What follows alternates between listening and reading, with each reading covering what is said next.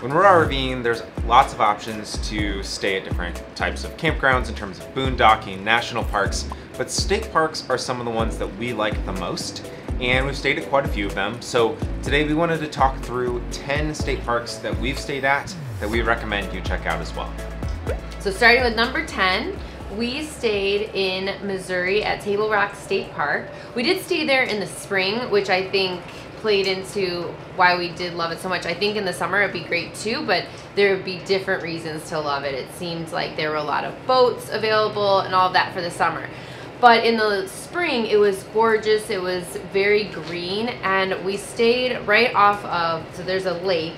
There's a path right by the lake, and then right above that is where our campsite was. So it's just super easy access to a lot of great trails.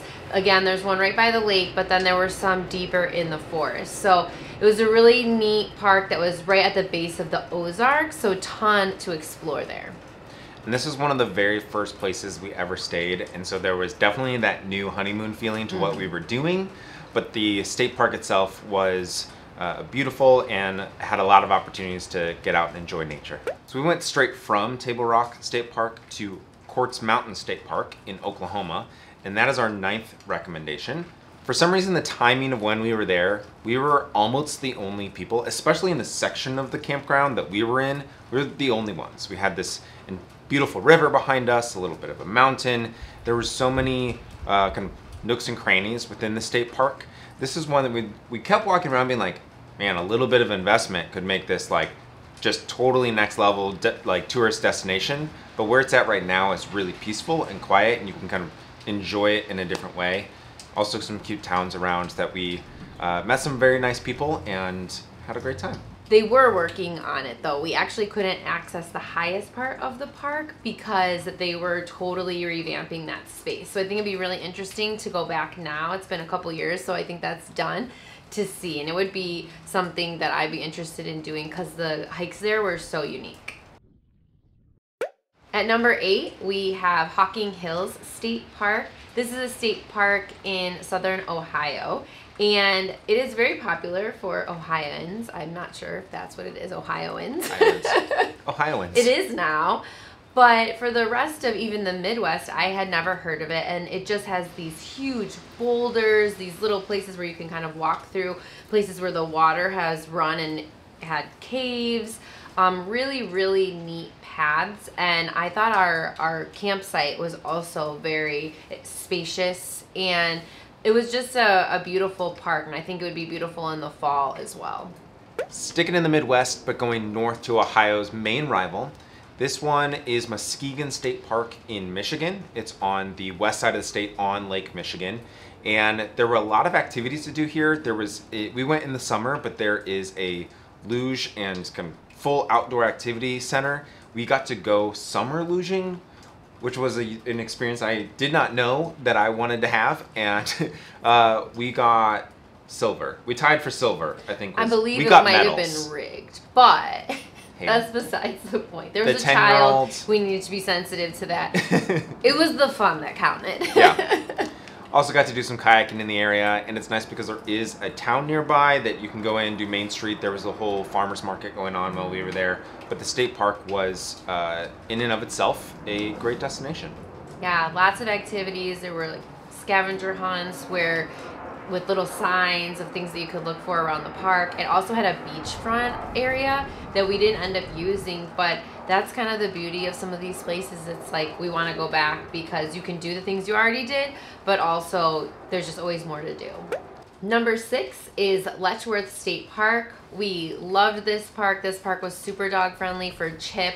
There is a beautiful path along the three main waterfalls that this park boasts. So I think a little bit mini Niagara, but a little more reserved as far as like the nature is preserved around it.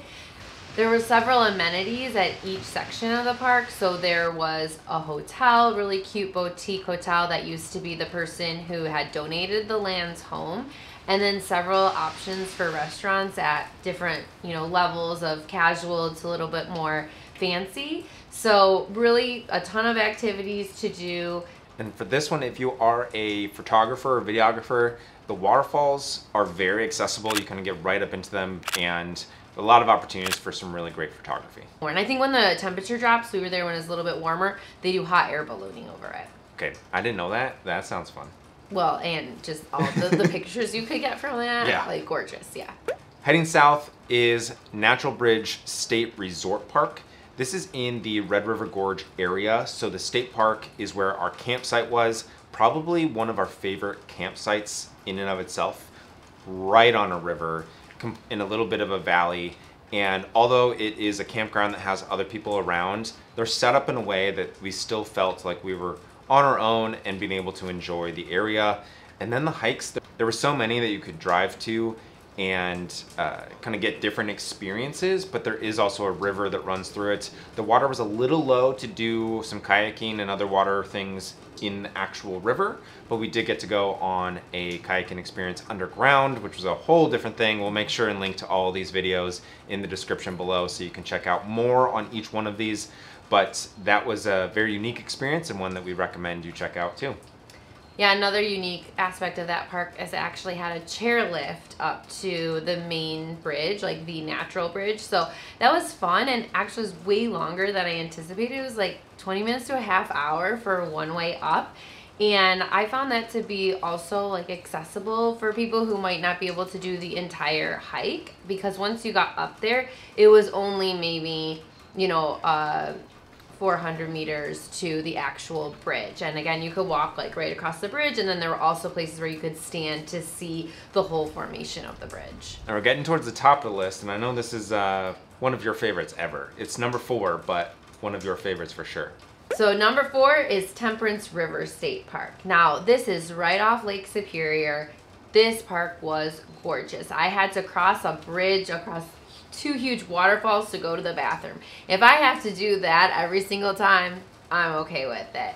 But this park had huge trees, so where our camper was, it was just totally secluded, and we were off a little bit off where ours was. There were some sites that were closer to the lake, but we just had to do a quick loop, and we were right off of Lake Superior where there were picnic tables. We had a fire there, and then super accessible to all these hikes and just waterfall after waterfall as the water that's coming to go into Lake Superior is there. Just absolutely gorgeous. I think I had one of the best sunrises of our camping experience there as well. And Minnesota, along that North Shore, has like a whole chain of state parks. And so this is the state park that we camped at, but there's a whole chain of them with different hikes, different waterfalls, different adventures all along there that were all within 20, 30, I think maybe the long, we, we did maybe do an hour long drive to one of them, but just all along the North Shore of, uh, of Minnesota. State parks galore. Yeah, and then you could just drive inland a little bit to, I think, Superior National Forest and talk about the land of 10,000 lakes. I wish we would have had our kayaks at that point. Again, we're going to go back because you just went off roading and like lake after lake after lake with nobody there. It was so beautiful. All right, we're gonna make a hard left turn and go all the way out west. A, whole, a hard west turn. a, hard, a hard west turn and go out to New Mexico. We stayed at Oliver Lee Memorial State Park. And this is near White Sands National Park, but this is where RVs can camp and it's up in the foothills of a mountain range. And to me, this was a very unique site because of the way the campsites were actually set up. The they were kind of all spaced out, but they had like different ledges that were kind of carved out and flattened. And then it, because it is the desert, everything was just a much different feel than a lot of the places that we've stayed, especially around the Midwest.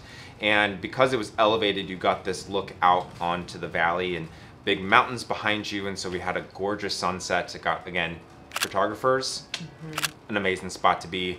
Gonna get a lot of golden light hitting the mountain peaks and uh, being able to, again, look out on the valley. You can see the White Sands way out in the distance, but then you're a short drive from it when you're ready to go explore the national park.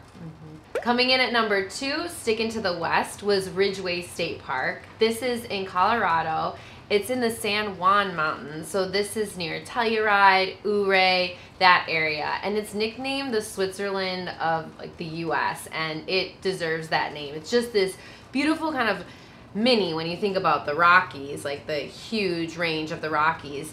this mini blip of beautiful, huge mountains that are rocky in that like same sense, um, but just in this row. And Ridgway State Park has a lake and then just a view of these. So, so I know we mentioned a couple sunsets and sunrises, but this really was a beautiful sunset where we got golden hour on this mountain range, just hues of pink and it was gorgeous. And again, all of the hikes right there along the ridge. There were different levels, so you can kind of go down by the lake, you could go above. Um, I would have loved to spend much more time in that park and in that area. Drum roll, please! and number one is Gulf State Park in Alabama.